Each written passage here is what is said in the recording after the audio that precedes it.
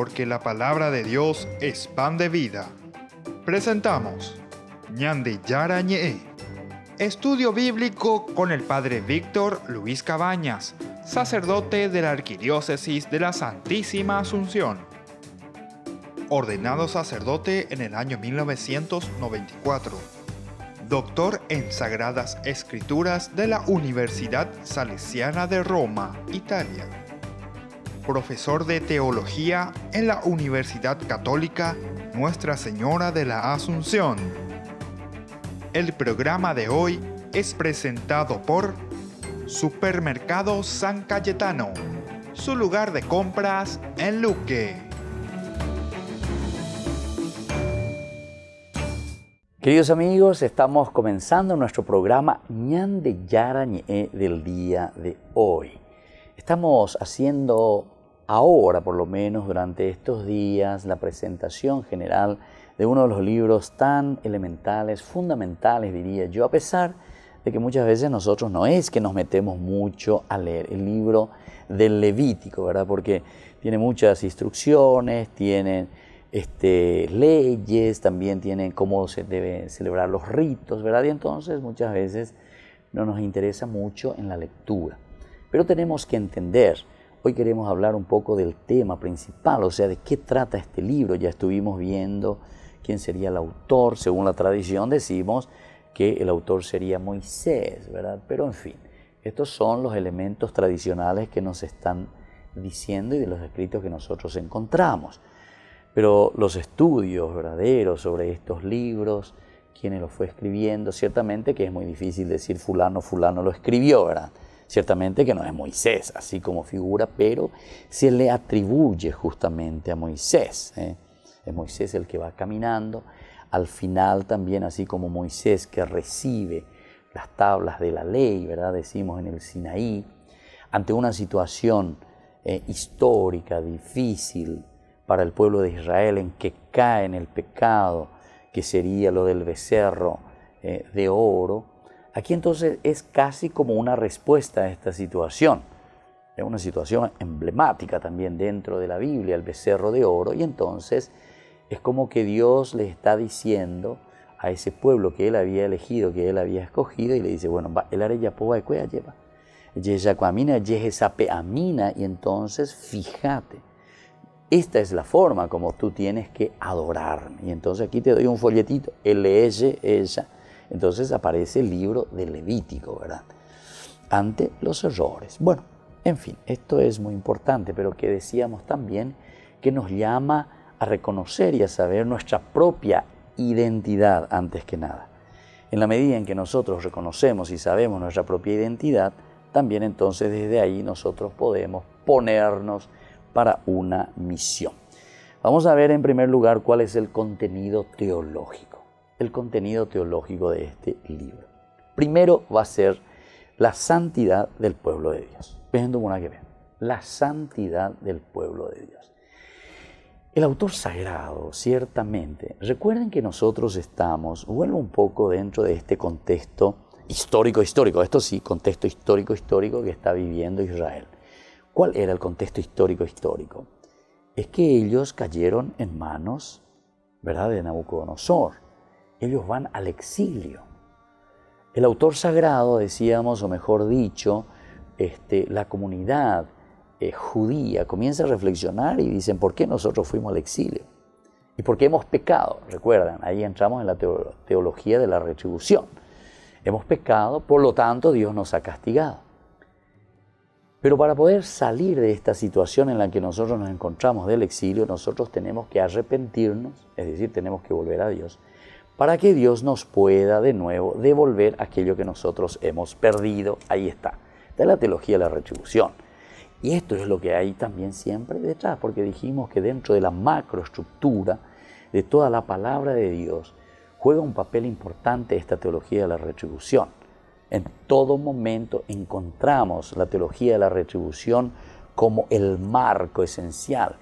Y además el pensamiento teológico en ese momento es el de la teología de la retribución. Entonces todos los libros, todos los fragmentos que se van escribiendo, se van escribiendo dentro de esa historia, dentro de ese tiempo. dentro de ese tiempo, que es la teología de la retribución. Y aquí aparece muy bien. Si me dice entonces que el contenido fundamental, esencial o uno de los contenidos esenciales será sobre la santidad del pueblo de Dios, la santidad. Hay que ser santo, decíamos, ¿verdad? Sobre todo el capítulo 19 vamos a volver ahí a entender una centralidad sobre este tema de la santidad del pueblo de Dios. ¿Por qué le está llamando a la santidad del pueblo de Dios? ¿Qué significa esto de ser santos? Y quiere decir, en su reflexión, ellos llegan a entender históricamente, esto sí que históricamente, entienden y ven por qué nosotros fuimos al exilio, por qué nosotros estamos en el exilio y por qué nosotros somos unos pecadores. Pero ¿qué quiere decir ser unos pecadores? Ser unos pecadores significa que nosotros no respondimos al aspecto de una unión profunda y sincera con Dios no hemos dado respuesta a una comunión entre nosotros, el aspecto de Caín y Abel, la fraternidad. Entonces le estamos matando a nuestros hermanos y claro, si yo me aprovecho de mis hermanos, claro que entonces estoy destruyendo mi propia nación, estoy destruyendo mi propio grupo. Vuelvo a recalcar y a subrayar lo que como elemento fundamental tiene el judaísmo, que es el hecho de que es una religión comunitaria. Entonces, acuerdo y lleva. Acuerdo y que el aspecto comunitario es esencial.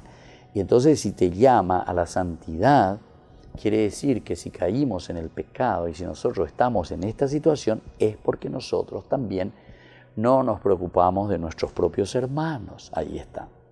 Y bueno, y entonces así podemos mirar que al hablar de esta santidad del pueblo de Dios nos dice, bueno, hay que rectificar. Tenemos que buscar la santidad del pueblo de Dios. El capítulo 19 es justamente la clave entonces, ¿verdad? Dice que hay que ser santos. El versículo 2, el capítulo 19, versículo 2 nos habla de esa santidad. También el capítulo este, 19 contiene mandamientos. Hay 16 mandamientos que nos enseñan a ser santos. Eso vamos a ver, ¿verdad? Eh, más detalladamente, pero podemos ir mirando en el capítulo 19, ya podemos ir adelantando algo, después lo vamos a estudiar mejor, ese capítulo 19, pero es muy interesante, ¿verdad? ¿Por qué? Y porque justamente nos está diciendo que nosotros para llegar a esa santidad tenemos que tener o tenemos que vivir ciertos elementos. Desde el 3 al 37 prácticamente nos dice todo. Hay 16, no voy a leer todo, ¿verdad? Pero el 2 ya te dice, respetarán eh, a su madre y a su padre, observarán mis sábados. Yo soy el Señor, tu Dios. Habla en estos términos a toda la comunidad de Israel. Ustedes, versículo 2, serán santos. Ustedes serán santos porque yo, el Señor, soy santo. Qué interesante, queridos hermanos. Este es entonces uno de los fundamentos, pero después hay 16 veces que nos va a llamar a la santidad. Vamos a volver entonces enseguida con más de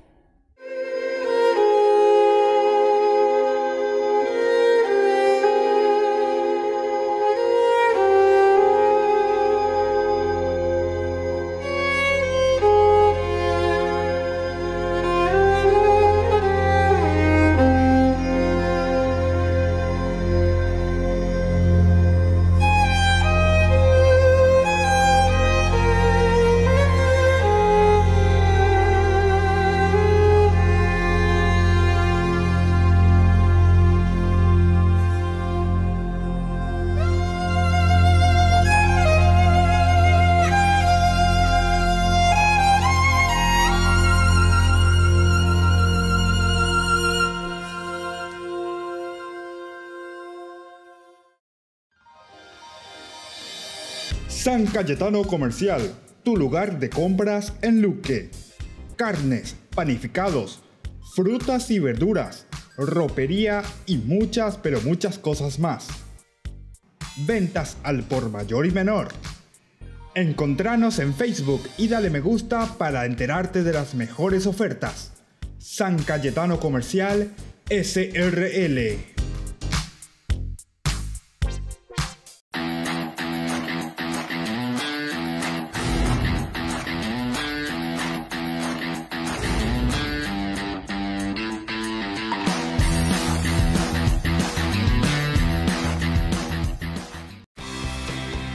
Porque decidiste cambiar y mejorar. Elegiste ser quien siempre te propusiste. Tu fortaleza es la confianza y esa confianza te llevó a que ahora te llamen doctora. Transforma tus sueños en hechos. UPAP, hacemos. Ayúdanos a sostener este espacio de evangelización.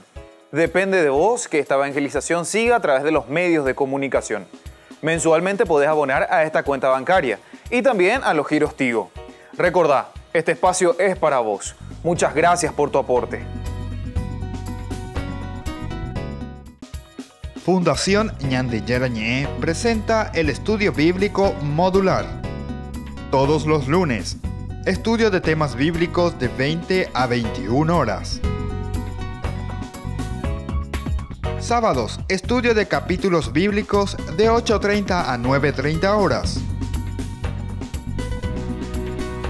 Animador, Padre Víctor Luis Cabañas, doctor en Biblia.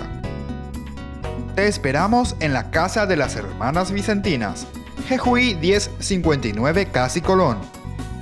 Para más información, comunicarse al 0981 50 50 36. Estudio Bíblico Modular Ñandi Yarañe.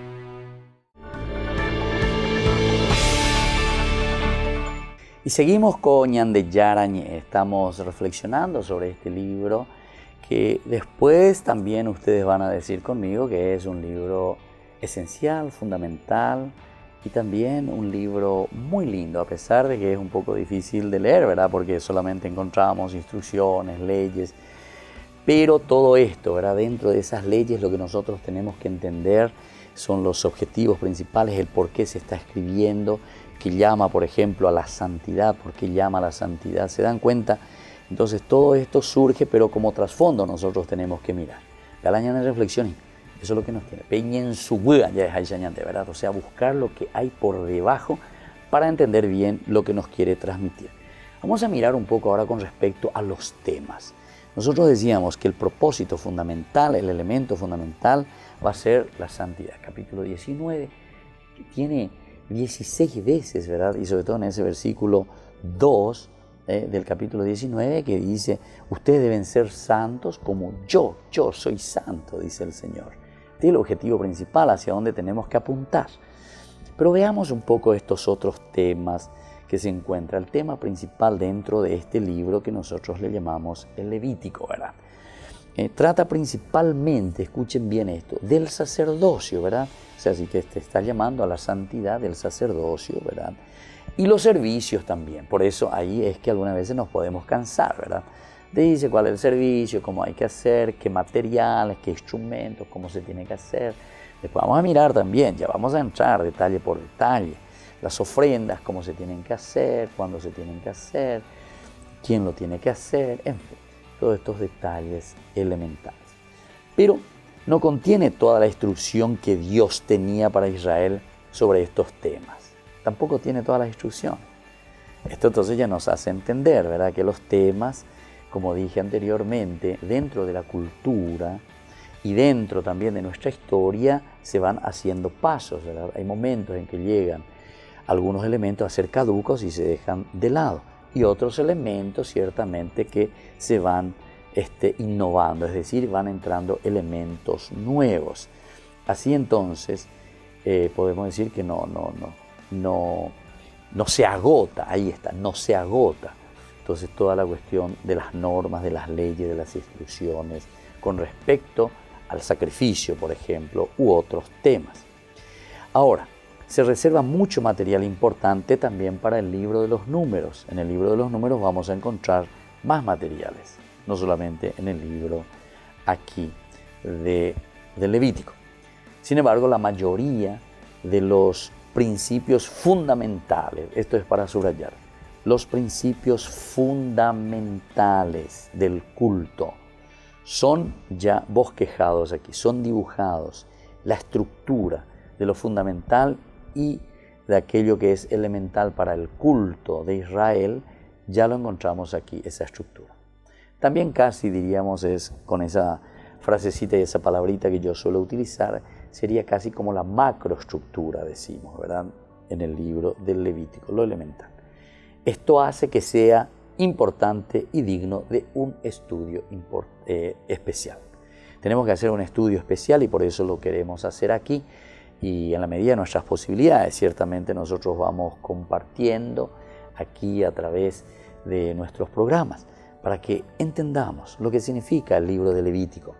No es que utilizamos mucho en nuestras celebraciones las lecturas del libro de Levítico, ni, ni es que nos ponemos a predicar mucho, pero si nosotros entendemos, como hemos procurado hacer en estas introducciones, vamos a llegar también a darle el valor elemental ¿verdad? Por eso es importante y digno ¿verdad? de estudio, porque aquí encontramos todo ese bosquejo, toda esa estructura que nos va a ayudar también a que nosotros digamos, bueno, verdaderamente ese culto, esa forma de encontrarme con Dios, ese rito es elemental y fundamental, es parte de nuestra vida. Recordemos que el hombre de por sí, nuestra propia naturaleza es siempre una naturaleza simbólica el símbolo, ¿viste? Los movimientos, ¿eh? yacué, no sé, muevo la cabeza, sí, no, ¿verdad? Entonces el rito de por sí tiene que transmitir, tiene que transmitir justamente qué cosa, lo elemental, lo fundamental. Si yo te digo así, entonces vos estás entendiendo que te estoy al pelo, nácore, nácore, veando y coy. Entonces viste que somos este, simbólicos y eso es lo que también en el culto se utiliza. Pero decíamos que hay elementos que después poco a poco, poco a poco, va saliendo, ¿verdad? Va pasando eh, dentro de la cultura también. Y entonces es allí, o elementos que después se van innovando y que van entrando cosas nuevas.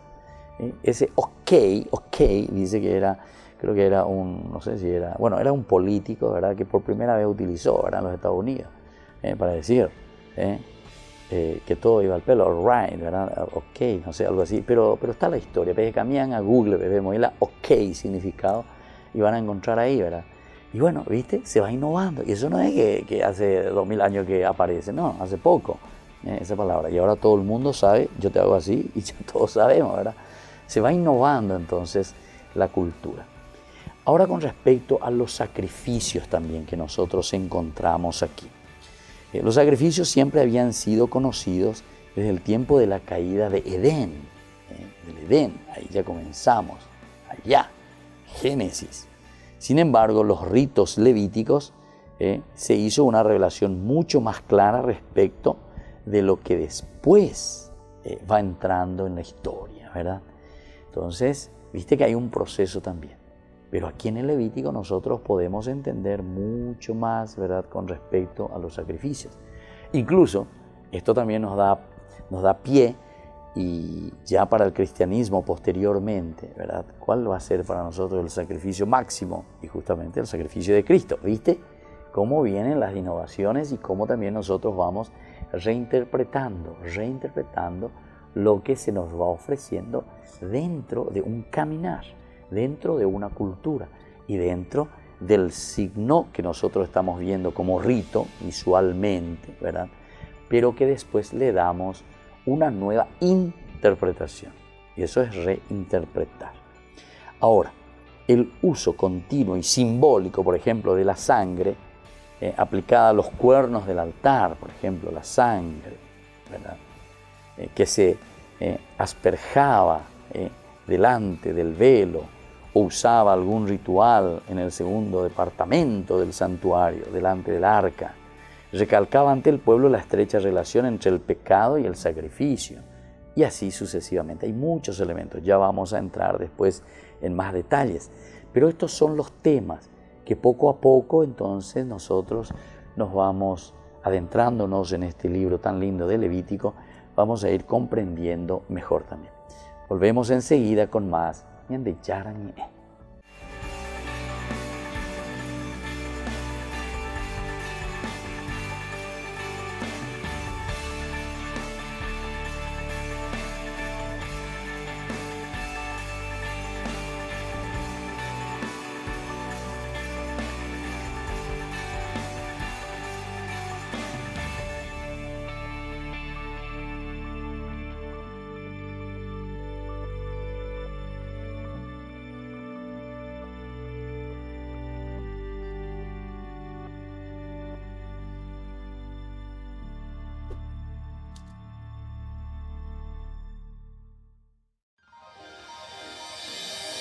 San Cayetano Comercial, tu lugar de compras en Luque. Carnes, panificados, frutas y verduras, ropería y muchas pero muchas cosas más. Ventas al por mayor y menor. Encontranos en Facebook y dale me gusta para enterarte de las mejores ofertas. San Cayetano Comercial SRL.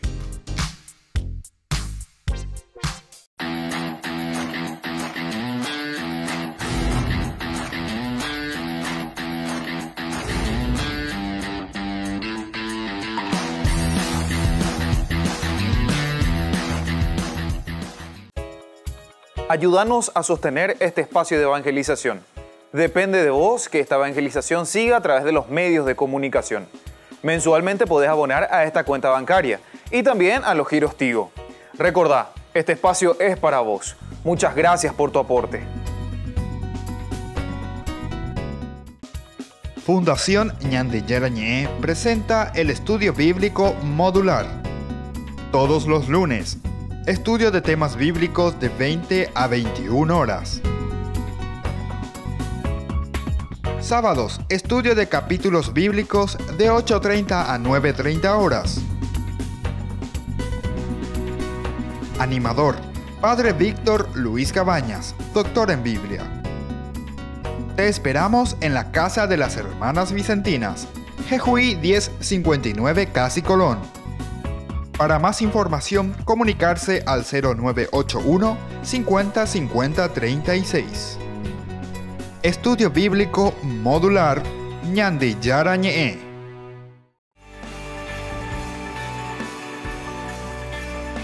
Volvemos con Ñande Yarañe. Aprovecho también para invitar a todos ustedes, aquellos que quieran participar en el mes de octubre, tenemos nuestra peregrinación como peregrinos en Yahañañezú, venían de Yara de Nondepe, especialmente en la fiesta de la Virgen de Aparecida, en el mes de octubre, del lunes 7, lunes 7 de octubre, hasta el domingo a mediodía en que se llega de nuevo aquí a Asunción, eh, para visitar el santuario de Aparecida.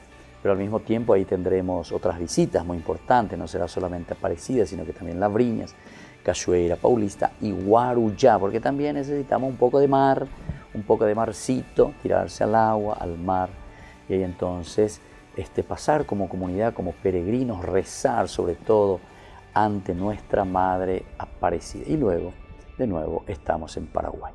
Luego tenemos el otro viaje, este, que es a Tierra Santa, del 30 de noviembre hasta el 16 de diciembre. Todos están invitados llamen a estos números para informarse bien y para que podamos ser buenos peregrinos, prepararnos ya desde ahora también. bueno, nosotros seguimos también en nuestra reflexión de este libro que después ya oportunamente vamos a decir maravilloso, seguramente lo vamos a decir así, porque el trasfondo y todo lo que nos quiere transmitir en una forma temática y sobre todo como un objetivo principal, ¿verdad? De decirnos esta es la forma como yo me quiero relacionar con ustedes, nos está diciendo Dios. Esta es la forma entonces como se nos presenta este libro llamado el libro de los Levíticos. Vamos a mirar un poco con respecto a los principios de la transferencia del pecado, porque este es un tema que va a aparecer en el libro del Levítico. Transferencia del pecado o de la mediación.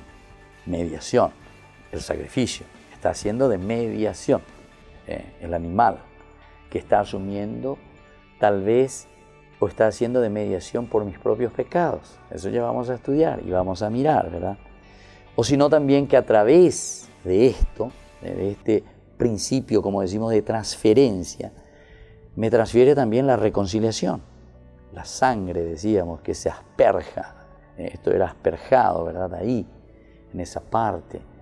Pero que me trae y me entrega reconciliación. Viste que después vamos a tener más adelante desde el Nuevo Testamento una relectura de esto, esa transferencia de Dios que envía a su Hijo Jesucristo, que después nos libera, nos sana. ¿A través de qué cosa? A través de un sacrificio, el sacrificio de la cruz.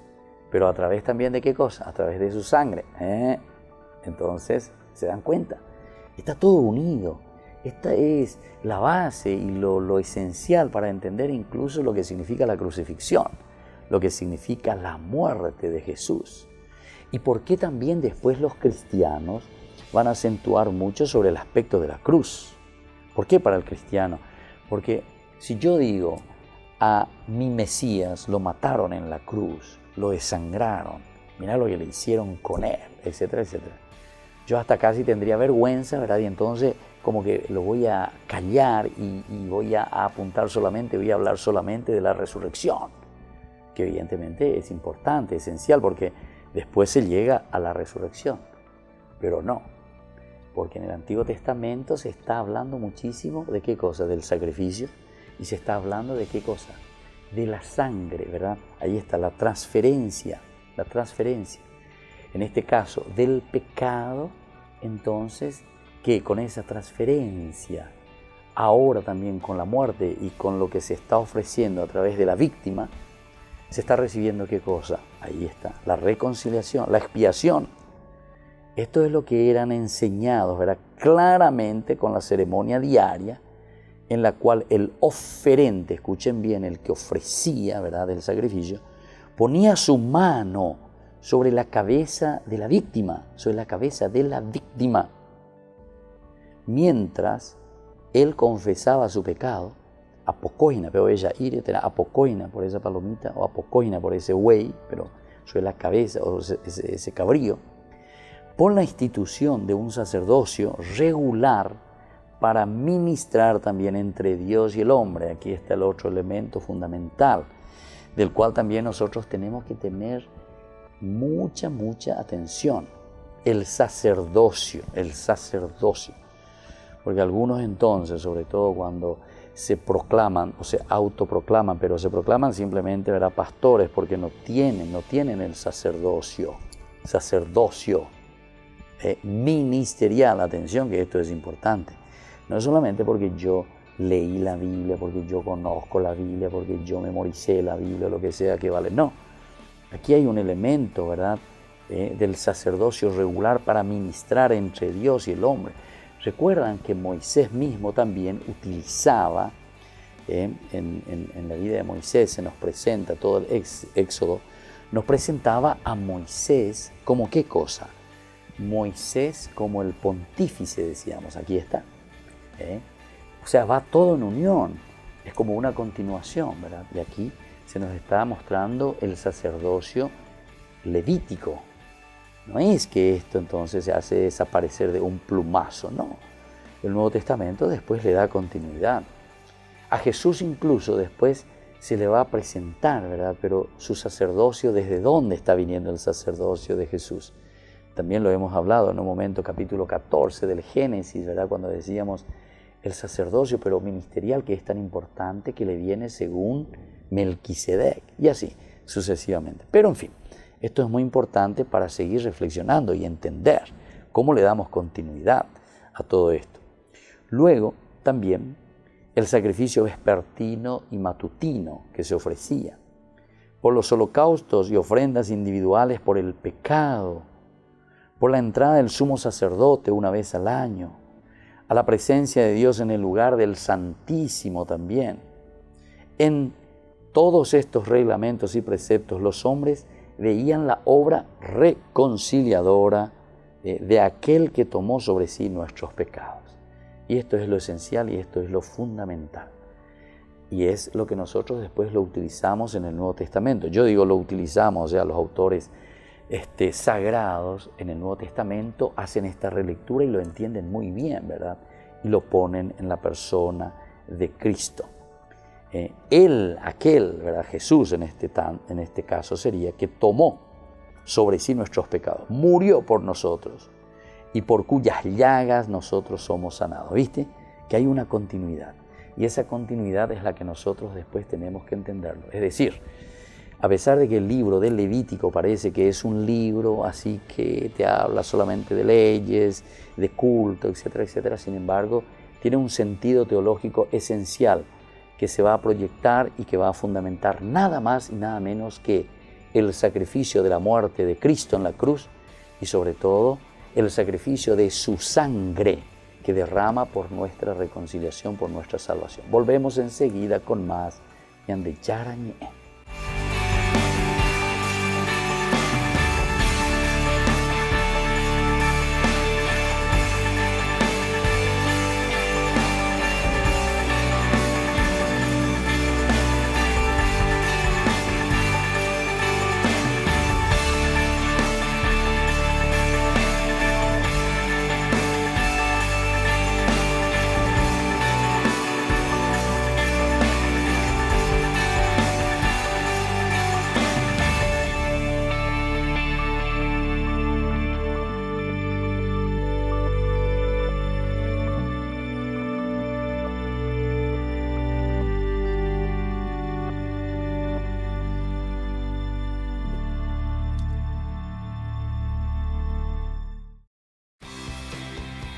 decidiste cambiar y mejorar. Elegiste ser quien siempre te propusiste. Tu fortaleza es la confianza. Y esa confianza te llevó a que ahora te llamen ingeniero. Transforma tus sueños en hechos. UPAP. Hacemos. San Cayetano Comercial, tu lugar de compras en Luque. Carnes, panificados, frutas y verduras, ropería y muchas pero muchas cosas más. Ventas al por mayor y menor. Encontranos en Facebook y dale me gusta para enterarte de las mejores ofertas. San Cayetano Comercial SRL. Fundación Ñande Yarañé presenta el estudio bíblico modular. Todos los lunes, estudio de temas bíblicos de 20 a 21 horas. Sábados, estudio de capítulos bíblicos de 8.30 a 9.30 horas. Animador, Padre Víctor Luis Cabañas, doctor en Biblia. Te esperamos en la Casa de las Hermanas Vicentinas, Jejuí 1059 Casi Colón. Para más información, comunicarse al 0981 50 50 36. Estudio Bíblico Modular Ñandi Yarañe. Porque decidiste cambiar y mejorar. Elegiste ser quien siempre te propusiste. Tu fortaleza es la confianza.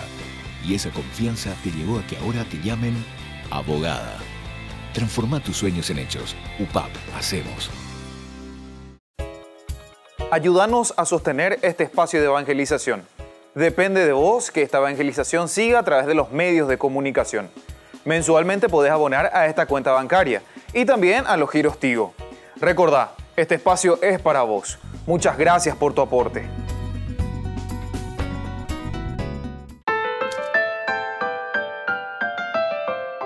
Bueno, vamos a ver hoy una cosita que es un poco distinto a lo que he dado ayer, pero que tiene algunos puntitos de conexión. Vamos a ver tres puntos, como siempre hablo en los audios del Evangelio. El primer punto vamos a ver la realidad que nos toca vivir como sociedad y la situación del hombre de hoy. Segundo punto, la evangelización ante el hombre de hoy. Vamos a ver entonces el primer punto, la situación social y antropológica, la del hombre. Antropológico significa hombre, solamente como quiero hablar difícil, entonces antropológico. Vamos entonces a ver la parte del hombre. El hombre de hoy, ayer hablaba de las generaciones, ¿no? Generación baby boomers, generación millennials, generación X, generación Y, que estamos hablando de las generaciones desde las décadas del 70 en adelante. Como ayer me, como hoy día me decía doña Beatriz, padre, no entro en ninguna generación, nació en el 40 y algo, bueno, no entra, o en el 50 y algo creo, bueno, listo. Pero entramos en un sistema, entramos en un sistema. Porque hoy el mundo está dado vuelta, ¿sí? Como yo decía ayer, antes había un papá y una mamá con muchos hijos. Hoy tenemos un hijo con dos o varias mamás o varios papás. Está complicado. Antes te casaba, pero antes era hacerte amigo, te enamoraba, te ponías de novio, te casaba y tenías hijos. Hoy tenés hijos, te obligan a casarte, te obligan a que te enamores y después vemos si nos hacemos amigos. Es decir, ha cambiado, ha cambiado mucho estas cosas, ¿sí? Y también el diálogo familiar también ha ido cambiando. ¿Por qué? Porque la sociedad también ha ido mostrando otro rumbo. Hay veces que me dicen, pero padre, que hay una crisis, hay muchos changos que no quieren entrar para ser cura, o muchas chicas que no quieren ser monja. Sí, pero la crisis no es tan solo de la iglesia en curas y monjas, la crisis también es en el tema de casamiento. Yo, por ejemplo, he tenido casamiento en marzo, y el próximo casamiento que tengo que celebrar en mi parroquia va a ser en octubre. Cada vez los casamientos no están. Es la convivencia, convivamos, probemos, veamos. Es decir, el compromiso falta. En el hombre de hoy falta el compromiso. ¿Cómo será que la UCA, en los últimos informes que salieron, el 48% de los argentinos ya vive solo? Y se está empezando a extender en Latinoamérica que los hombres y las mujeres quieren vivir solos y no tener compromiso. No se quieren ni poner de novio ni casarse. Como diría bien Rey, amigos con derecho. ¿Sí? Son amigos. Es más, vos ves que se están besando ahí, agarrados como el árbol. Son novios, amigos. ¿Y por qué se están besando? Y porque no estamos conociendo. ¿Mm? Entonces, comienza a cambiar el ámbito. Y no queda de menos hablar también de este mundo. Porque hoy estamos viviendo el mundo de lo digital. Y por ende estamos viviendo... Ay, esperen que me llegó un mensaje por WhatsApp. Entonces, eso lleva a que uno se disperse. Pero también esto, la sociabilización individualista. Cada uno nos estamos volviendo más individualistas. Y no estamos haciendo individualistas, pero también estamos sociabilizados. Te pongo un ejemplo. Juan Carlos desde las 9 de la mañana hasta las 8 de la noche está encerrado en su pieza, trabajando en la computadora. Tiene internet, Facebook, Twitter, Instagram. En el mundo de lo virtual, Juan Carlos tiene 40.000 amigos en Instagram, 30.000 amigos en Facebook, 70.000 amigos en Twitter, en WhatsApp, montón de amigos. Habla, conversa, tiene mejores amigos, hasta incluso se ha puesto de novio y se conversa con su novia por Instagram y al mismo tiempo por Skype se conversan y se besan. Pero en el mundo de lo real, Juan Carlos está solo. Es más, la mamá le tiene que mandar un WhatsApp diciéndole, ya está la comida, para que vaya a comer. Entonces, esto sí trae una bipolaridad de las personas. ¿Por qué trae una bipolaridad? Porque hasta incluso las personas cambian de carácter y se muestran de otra manera en lo virtual distinto a lo real. Te amo, mi amor, solo más lindo, solo más hermoso. ¿Cómo estás, bebé? Qué lindo verte. Bla, bla, bla, bla, bla, bla. Y cuando están en la realidad, ¿ya está la comida? Sí, ya está. Bueno. Es decir, nos mostramos de una manera en lo virtual y somos totalmente otra en lo real. Hasta la manipulación, hablábamos ayer, ha cambiado muchísimo. Hoy con el celular manipulamos a todas las personas. ¿Cuántos de los que están de novio acá se bloquean y se vuelven a aparecer? Se bloquean y se vuelven a aparecer. ¿Y para qué vamos a hablar? De aquellos que controlan constantemente el último momento de conexión de ella o de él. Mirala la desgraciada, me ha leído el mensaje y no me ha contestado. Es como que ya es necesario que cuando alguien te manda un mensaje, en el acto te tiene que contestar. Sí, nos pasa. Y hasta incluso hoy el hombre se ha hecho más sensible, más susceptible. Has pasado y no me has mirado ni me has saludado. Ya es, oh, el problema. Es un gran problema ese. Hoy, ¿ustedes se acuerdan cómo se castigaba antes al chico? Antes, para que vos entiendas, porque vos sos más chica, cuando mi mamá a mí me castigaba, me agarraba de acá. ¿Sabe por qué me dejo la barba? Porque ahora me dejo la barba para que no se me vean los cachetes como me pegaba los cachetazos. Encima, vos veías que cuando mi mamá hacía un simple gesto, y ya sabías. Como hoy veíamos, hoy toda la gente le encanta hacer deporte con adrenalina. Rafting, al otro eh, no sé cómo se llama el otro deporte, de la bicicleta spinning. Mi vieja me ha agotado la adrenalina. ¿Sabes lo que es correr cuando tu mamá tiene un cinto en la mano? Es tremendo. Se te va toda la adrenalina. Parecía no sé qué, Rambo, parecía como me escapaba yo. Claro. Antes te agarraba así tu mamá. Y cuando tu mamá te encontraba con algo, ¿qué hacía? No, mamá, no me pegué. Gesto nada más, ¿no? Tinte, pasa para adentro. Pasa para adentro. Y cuando tenía muchos hermanos, ¿qué pasaba? Iban a una fiesta, te agarraba el, papá al hijo mayor. Eh, vos, vení. Decía, eh, vos vení, porque no sabía el nombre del hijo, pero él no le importaba. Eh, vos vení. Hacía así. Eh, vos vení. ¿Qué papá? Llora tu hermano, a vos te voy a pegar. Niñera gratis durante toda la noche. Niñero gratis, ¿no? Ahora el chico hay que llevarlo al psicólogo, al psicopedagogo. Antes venía tu papá y te decía, ya te voy a pegar con el psicólogo, ya va a ver. 40 de sesiones de Freud eran eso. Cinto directo. Totalmente. Y cuando la mamá te denunciaba, también. Vos peleabas con la mamá, ¿no? Y cuando mamá te pegaba, vos decías, ya le voy a contar al papá. Doble pagadiza te voy a dar.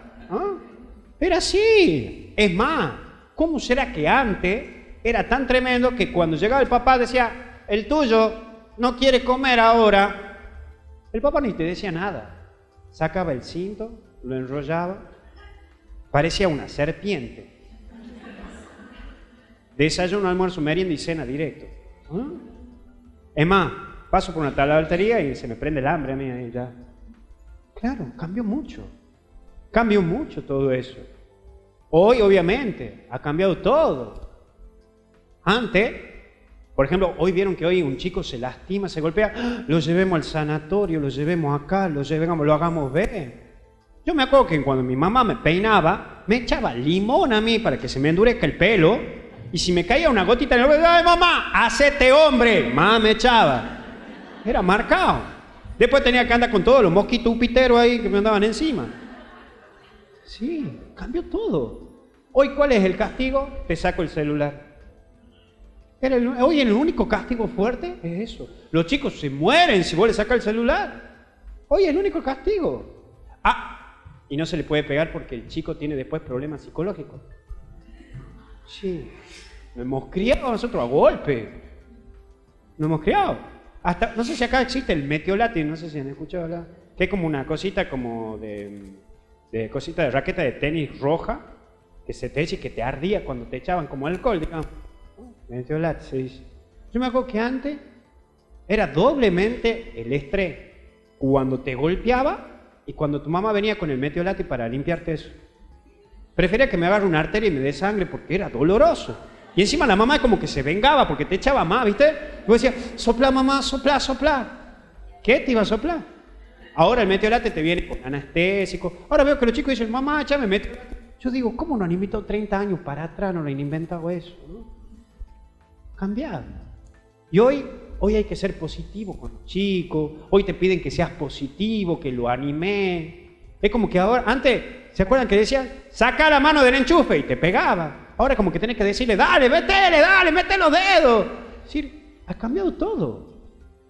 Ha cambiado todo. Antes la maestra era la autoridad. Y si la maestra te pegaba o te retaba en el colegio, venías a la casa y le decías a tu mamá, te pegaba a tu mamá porque le ha hecho pasar vergüenza vos a ella. Hoy las mamás van a pegarle a la maestra y hoy el chico le grita a la maestra. Ha cambiado todo. Ha cambiado muchísimo. Antes lo que eran abuelos eran las autoridades. Hoy no lo son. Entonces, hoy los chicos han tomado una postura totalmente distinta. Es más, soluciones prácticas y rápidas. Ay, tengo ganas de comer un helado. Ay, pero estamos lejos. No, no importa. Ya me mando el pedido ya y que me, lo ya, llegue. Ha cambiado. Necesito esto, tal cosa. Ay, no sé cómo llega acá, ya te lo veo. Todo te soluciona, falta que te cebe mate, nada más. Y que cuando me sienta triste me acaricie. Ha cambiado todo esto. Ha cambiado. Y estamos en una sociedad donde la sensibilidad ha caído mucho. Donde hoy los chicos también son muy light. Hasta las relaciones son muy pasajeras. Los chicos se ponen de novio durante dos meses, tres meses y ya está. El famoso típico touch and go también está marcado. El toco y me voy.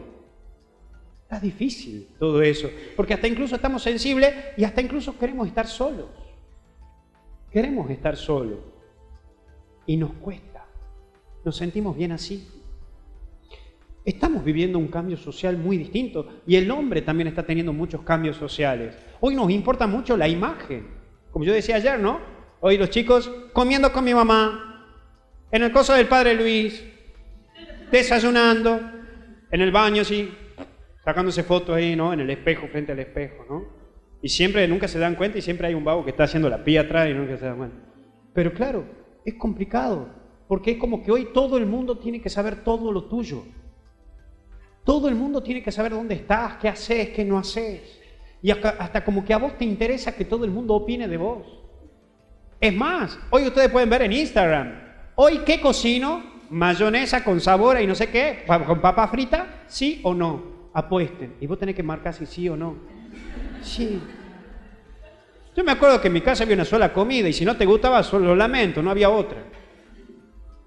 Pero ¿cómo ha cambiado? Ahora hasta incluso hacemos que la gente opine qué es lo que yo voy a comer o qué voy a cocinar. Es decir, estamos haciendo que nuestra vida cada vez sea más pública. Yo estoy haciendo que mi vida se haga cada vez más pública y es complicado. Porque ahora todos estamos sabiendo de todo. Porque hasta viene tu nieto y te dice, ahora con mi abuelo, sonreí abuelo. Y el abuelo sonríe, tum, todo el mundo, etiquetado el abuelo. Todo el mundo conoce. Ahí está el abuelo de cosas, ahí está. Es complicado. Estamos en un mundo complicado. Esto, que a nivel social está complicando también, hay problemas en el hombre. La manipulación ha crecido muchísimo, ha cambiado mucho. Hoy, especialmente ha crecido uno de los síndromes o de las patologías más grandes que tiene el hombre a nivel sensible. ¿Saben cuál es? El de la histeria. ¿Conocen ustedes a alguna persona histérica? Bueno, no era para que me lo hagan así tampoco. Les voy a decir que no, o capaz que sí, pero capaz que tiene medio complicado, confundido qué significa histeria. Histeria se le dice también el síndrome de la pelotita de tenis. ¿Vieron cómo saca un tenista? Tira para arriba, no va a tirar para abajo, tira para arriba y cuando cae la pelota, pega. ¿Vieron eso alguna vez? Bien. ¿Están seguros? ¿Están seguros? Me tener un poquito de onda. A mí también me cuesta. Vamos, trabajemos, ¿sí? Bien. Pelotita de tenis. Así se dice a una persona manipulante con este síndrome. ¿Por qué? Es la típica persona que te alaba. Ay, solo más lindo, solo más hermoso. ¿Qué sé yo? Puede venir un tipo manipulante, le dice, no sé, ¿cómo te llamas vos? Ay, Antonella, solo más hermoso, solo más lindo. No te lo va a creer, ¿no? Solo más bella, solo más hermosa, qué linda que sos. Te veo y me dan ganas de tomar agua bendita. Es decir, realmente está Dios la Virgen y vení vos después. Sí, solo más. Cae Antonella. Porque yo en el fondo quiero conquistarla. Cae Antonella, ¿sí? Cae Antonella. Y cuando cae Antonella, ya llevamos seis meses de novio o un año de casado. Y digo, ah, no, Antonella, no te voy a dar un beso porque estás engordando. Ay, no, Antonella, no te voy a dar un beso porque estás peinada mal. Ah, no quiero, Antonella, verte. Me voy, me voy con mis amigos. Ah, ah, te estoy haciendo un favor porque si yo no estoy con vos, nadie va a estar con vos. Es más, sos fea, sos horrible. Es más, me dan ganas de besarte en la oscuridad para no tocarte ni verte. Es decir, es esa persona que cuando sabe que tiene al otro, lo baja, lo liquida y le quita, le quita la identidad. Le hace una persona dependiente de él o de ella. Es peligroso, peligrosísimo.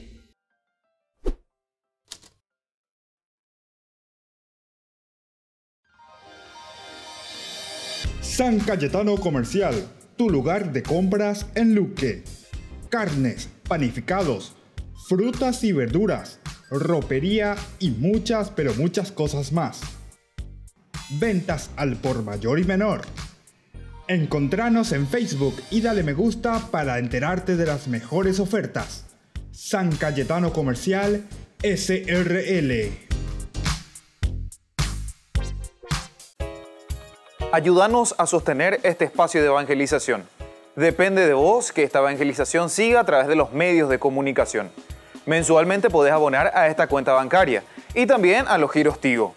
Recordá, este espacio es para vos. Muchas gracias por tu aporte.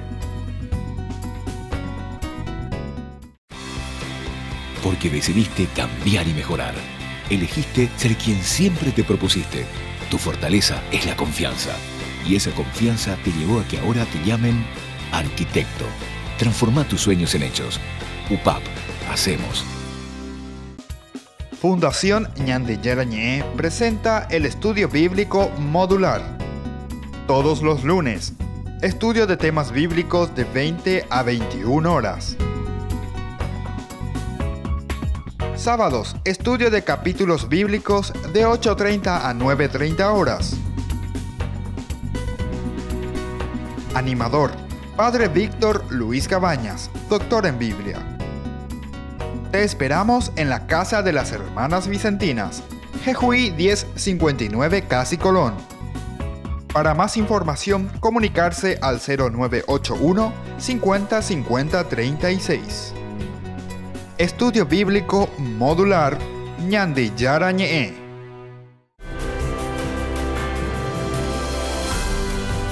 Estamos volviendo con Ñande Yarañe, estamos haciendo nuestra reflexión o estamos haciendo la introducción sobre el libro del Levítico. Decíamos que este libro presenta teológicamente por lo menos un camino hacia la santidad, elemento fundamental, y luego que estamos entrando aquí sobre algunos elementos temáticos, o sea, los temas que va desarrollando el libro del Levítico, que habíamos dicho que te habla del sacrificio, que después en una relectura del Nuevo Testamento, del ministerio sacerdotal principalmente, ¿verdad? Como, como el que se pone como para ofrecer esta víctima. ¿Quién es el que está ofreciendo aquí justamente ese ministerio, ¿verdad? El levita como tal, el sacerdote como tal. Pero más esencial aún es lo que se está ofreciendo. Decíamos que es el sacrificio y es esa sangre. Nosotros podemos decir, y escuchen bien este elemento, que Levítico es un pre-evangelio, pre-evangelio, pre-evangelio. Esto, esto, esto es eh, esencial y esto es fundamental que nosotros lo entendamos. Un pre-evangelio, es decir, te está ya preparando lo que vendrá después y que nosotros lo vamos a entender y lo vamos a leer del sacrificio en la cruz de Jesús y de la sangre que se derrama por la liberación y la reconciliación del hombre con Dios, un preevangelio. Y debiera hallar un lugar importante en el estudio de los que desean seguir a Cristo, ¿verdad? al Cordero, hasta el fin del camino. Esto es entonces esencial y fundamental. Tenemos que abrir los ojos, tenemos que entender. ¿Se dan cuenta por qué también es importante leer el Antiguo Testamento? Algunos pues, y no llega al Nuevo Testamento en la iglesia porque Cristo es el que nos salva, el Redentor. Sí, esa es lo fundamental, lo esencial, lo cristocéntrico, pero que recuerden que si digo que Cristo es el centro, el centro quiere decir que alrededor de Él hay otros elementos para que eso sea el centro. Esto no puede ser el centro si no hay alrededor otros elementos. ¿Cuáles son estos eh, otros elementos que hacen que esa presencia de Cristo sea céntrica. Y justamente aquí lo estamos entendiendo. Y nos está diciendo incluso que es como un pre-evangelio. Nos está preparando a la centralidad ¿verdad? de la presencia de Cristo. Y bueno, vamos a mirar entonces otros elementos. Por ejemplo, el servicio del santuario. Servicio del santuario que vamos a encontrar aquí. Este es otro tema, ¿verdad? Era claramente simbólico, simbólico el simbolismo. ¿Cuántas veces hemos hablado también y hemos reflexionado? No solamente aquí lo vamos a hablar, pero de una forma mucho más específica, ciertamente que lo haremos. Y por lo tanto, si es simbólico, es simbólico, quiere decir que siempre será temporario. Es decir, queda en el tiempo, o sea, no llega allá hasta el fondo, sino que te está simbolizando algo mucho más importante pues no hay relación necesaria entre la sangre de los toros y machos cabríos. No hay una relación, ¿verdad? Entre los toros y machos cabríos y el perdón de los pecados. No hay, no hay una relación. ¿Por qué? Ese toro, ¿por qué ese macho cabrío, etcétera? Tiene que, pecar, eh, tiene que redimir el pecado. El sacrificio como tal, ¿verdad? La sangre como tal. Y bueno, pero esta entonces sería una analogía o como estábamos diciendo, simplemente es como algo simbólico. Viste que todos nosotros entonces ahora, si lo leemos desde la visión del Nuevo Testamento, le damos un sentido incluso mucho más profundo y de realización plena para nosotros en el Nuevo Testamento. Pero atención, tampoco tenemos que dar simplemente un salto sin entender lo que significa en el Antiguo Testamento. Pero ya estudias por la de catequesia, la de estudio bíblico. Lleva desde el Antiguo Testamento. Tenemos que entender bien qué es lo que ellos querían decir con esto. O mejor dicho, no solamente qué querían decir, sino que qué estaban haciendo. ¿Por qué ellos hacían esto? ¿Cuál era el significado profundo?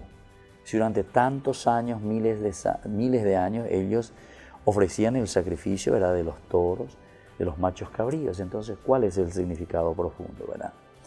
Los sacrificios eran todos simbólicos y tenían poca virtud en sí mismos, ¿verdad? En sí mismos. Pero eran la sombra de los bienes venideros y servían así a un propósito vital. Eso es lo que yo le estoy diciendo. Desde una lectura ya del Nuevo Testamento para nosotros es esencial porque la aplicación que se hará desde el Nuevo Testamento será justamente esto, ¿verdad? Y bueno, y vamos concluyendo, ¿verdad? Diciendo entonces esto, que enseñaban lecciones acerca de la gravedad del pecado, aquí está, simbólicamente entonces, la gravedad del pecado, de la necesidad, ¿verdad?, de una confesión del pecado, porque él llevaba, ¿verdad?, su animal, ponía la mano sobre la cabeza, o sea, decir, yo confieso mi pecado, yo confieso. Y mira que lo hace público. Y esto que después dicen que no hay que confesar el pecado en público. Al contrario, necesitas, necesitas la confesión. Pero aquí estamos en el Antiguo Testamento, estamos en el Levítico. Todavía no estamos hablando de eso que dice, no, la iglesia que inventó. ¿Qué va a inventar la iglesia? Esta es una relectura, pero profunda. Y esto lo estamos leyendo en el Antiguo Testamento. El tercer libro que encontramos, ¿verdad? En la Biblia. El tercer libro. Estamos comenzando la Biblia, estamos comenzando. Imagínense después cuando entremos en los profetas. Imagínense después cuando entremos en la reflexión sapiencial. Pero esto, esto es fundamental, ¿verdad? Y aquí entonces hay una necesidad de confesión entonces. Necesitar confesar. Hasta la psicología hoy te dice que vos tenés que reconocer tus pecados. Eh, bueno, podemos decir la psicología, no sé, de Víctor Frank, te va a hablar, no sé, de un reconocer qué cosa, tus manchas o tu oscuridad o tu sombra, dice, ¿verdad? Tu sombra. Todos tenemos nuestras sombras, nuestras equivocaciones. Esas sombras seguramente que no van a desaparecer, pero tenés que saber ubicar tu sombra, tenés que saber convivir con tu sombra, que quiere decir tus pecados. Es otra forma de llamar nomás, ¿verdad? Otro nombre nomás que le estás dando. Y eso te habla la psicología. En el aspecto religioso nosotros le llamamos pecado, ¿verdad? El aspecto moral le llamamos pecado. Y bueno, entonces a entender acerca de la gravedad del pecado, de la necesidad de confesar tus pecados. Y bueno, también de la importancia de la ley, porque ante esa sombra, ante esos pecados, ¿qué es lo que yo tengo que hacer? Tengo que entender esta ley. Hay una ley universal para todos con la que vamos a compartir la propia vida y entonces tenemos que saber convivir. Es la ley de la convivencia en síntesis, ¿verdad? Por otra parte, también de una ley de santidad santidad de Dios y santidad nuestra. Pero ¿qué quiere decir esa santidad? En el aspecto religioso estamos utilizando estos términos, pero en el aspecto humano, psicológico, podemos decir que es ese saber compartir y saber dialogar y saber convivir con el otro, o sea, ofrecer lo nuestro, lo positivo, lo lindo.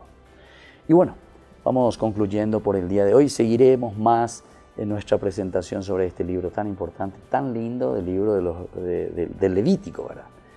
Eh, les invito a todos ustedes también, no se olviden, mañana sábado continuamos con nuestra reflexión, principalmente una síntesis de todo lo que fuimos reflexionando en estos cinco primeros días de lunes a viernes.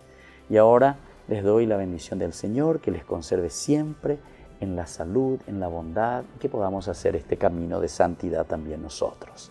El Padre, el Hijo y el Espíritu Santo. Amén.